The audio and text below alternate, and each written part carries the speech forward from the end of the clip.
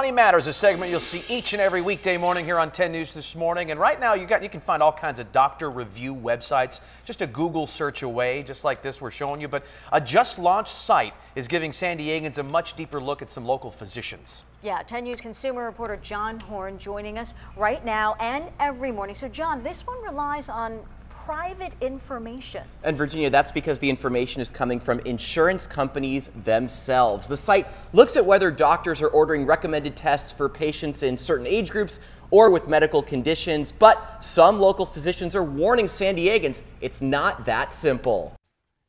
When San Diego doctor Ted Mazer looks up his ratings online, his reactions to the sites aren't usually positive. I actually find most of them to be bogus and garbage. One reason, they rely on patients for feedback. So one site may have positive comments, another not so much. But a new site called caqualityratings.org doesn't ask patients for any information because some major insurers supply it all. It rates doctors based on whether they billed for tests recommended for people at certain ages or with certain conditions. It's basically did he recommend or did he or she perform the study or have the study performed? But Mazer says there's a big problem assigning stars based on that. It's that patients don't always actually get those recommended tests, and that can downgrade doctors like him. I dictated two letters last evening to patients who we asked them to get one was a sleep study, one was a scan, doing the right thing for the patient,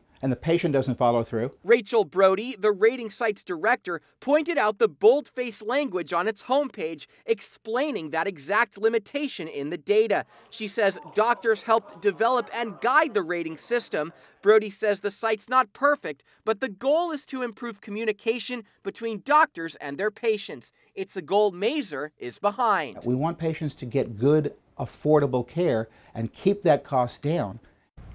Now, the site has about 750 San Diego doctors on it, but that number will grow as it adds more recommended treatments. Now, one other thing the site can't tell you is what those doctors did in response to those tests. Did they make the right call? The only way you could probably find that out is in your own medical experience. Yeah. Right, right. I, it's, right now, it seems like you really have to rely on a lot of pieces of information. There's no one place that has everything. Yeah. And as Dr. Mazer said, it's a start. We're getting there. So if you'd like to search for a doctor, we've posted a link on our website. Go to 10news.com and click on the red TV button.